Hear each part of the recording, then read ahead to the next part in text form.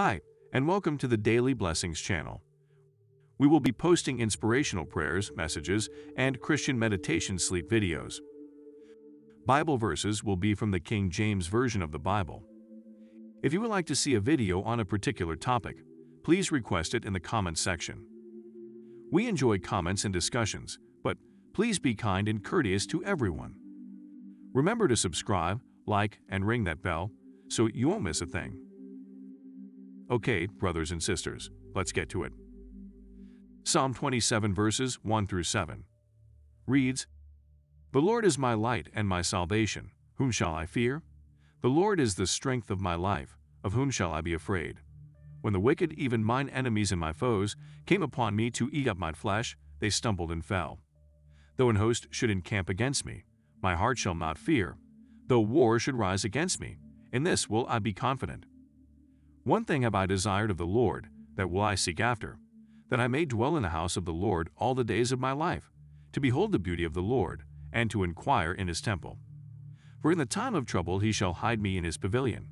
In the secret of his tabernacle shall he hide me. He shall set me up upon a rock. And now shall mine head be lifted up above mine enemies round about me. Therefore will I offer in his tabernacle sacrifices of joy. I will sing, yea, I will sing praises unto the Lord. Hear, O Lord, when I cry with my voice.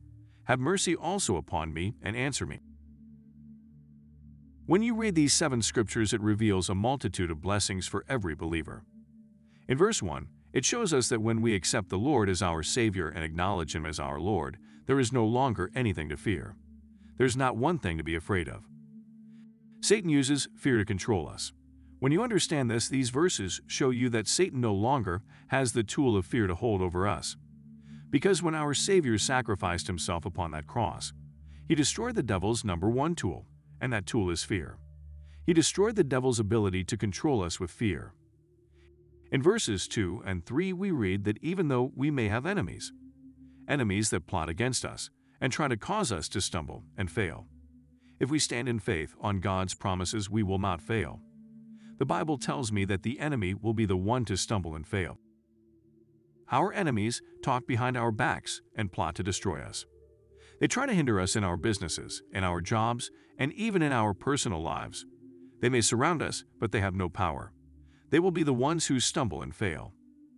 In verse 5, the word tells us that when troubles come, if we depend on the Lord, that He will hide us and shelter us in His pavilion. What an awesome promise! He will give us shelter and will be our refuge. He gives us a promise of protection when He states that He will set us on a rock. That means no evil can touch us. Nothing that comes against us to harm us will be able to shake our foundation because it's on rock. Not a sandy foundation, but a rock-solid foundation.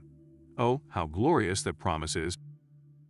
I mean, really think about that, people. Do you know anyone today that if you were running from someone, if they were running behind you with a gun or a knife, and they were trying their best to kill you, do you know of anyone who would open their door and usher you in? Anyone who would stand in front of you to protect you from that person? Did you? Most of us, if we were lucky, would have someone call the police and say they saw something outside their window and please come help this person. And that's if we're lucky. Most people will close their eyes and walk away because they don't want to get involved.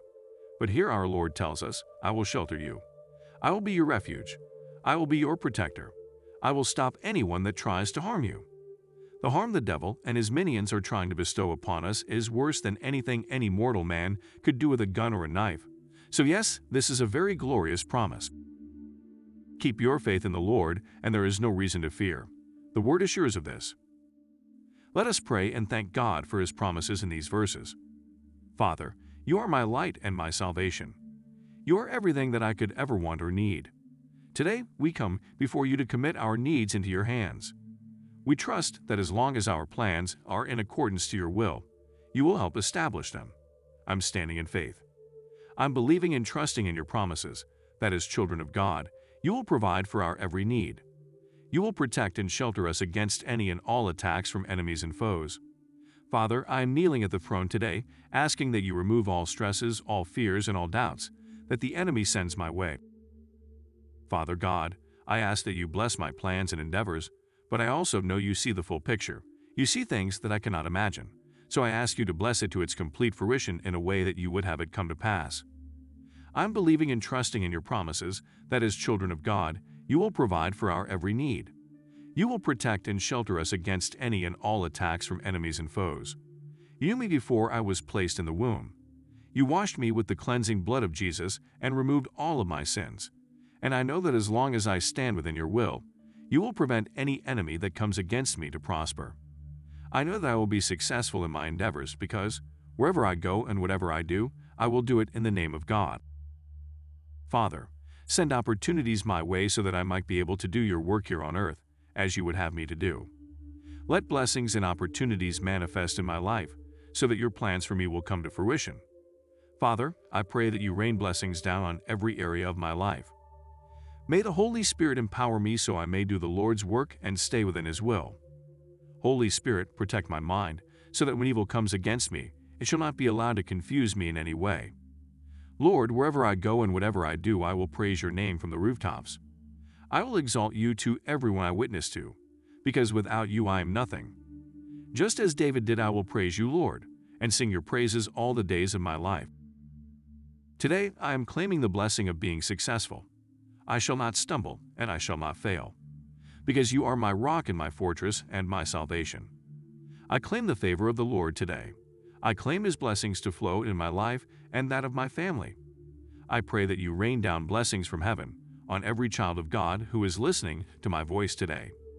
As always, Father, I ask that your will be done here on earth as it is in heaven. Amen. If you enjoyed today's video, please share it with your family and friends. Visit us daily for new content and thanks for watching. Have a blessed day.